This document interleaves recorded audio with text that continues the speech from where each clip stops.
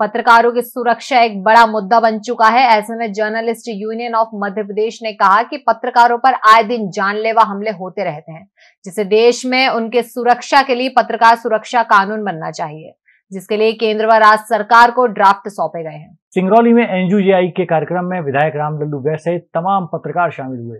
कार्यक्रम में एनयूजेआई के उपाध्यक्ष व journalist union of Madhya Pradesh के नवनियुक्त महासचिव प्रदीप तिवारी ने कहा कि आज देश विदेश में पत्रकारों की सुरक्षा बड़ा मुद्दा बन चुका है। आए दिन पत्रकारों पर हमलों की खबरें आती रहती हैं, जो बड़े चिंता का विषय है। ऐसे में पत्रकार सुरक्षा कानून बनाना बहुत ज़रूरी है। इसके लिए केंद्र और राज्य सरकारों को ड्राफ्ट दिए गए हैं।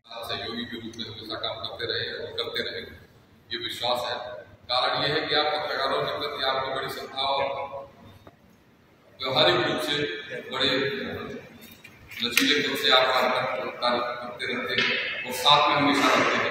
कभी कोई किसी की हरकत हो किसी के यहाँ कोई समस्या हो तो उसको आगे बढ़ाने में, उसका सहयोग करने में हमेशा आपका हाथ आगे कार्यक्रम में उपस्थित सिंगरौली विधायक राम लल्लू बैस ने भी सभी से पत्रकार सुरक्षा कानून को लेकर कहा कि पत्रकार सुरक्षा कानून व राष्ट्रीय पत्रकार रजिस्टर को लेकर विधानसभा में प्रस्ताव लाया जाएगा। जिसका मैं पुरजोर समर्थन करूँगा। वो खबरें जो आपके काम की है।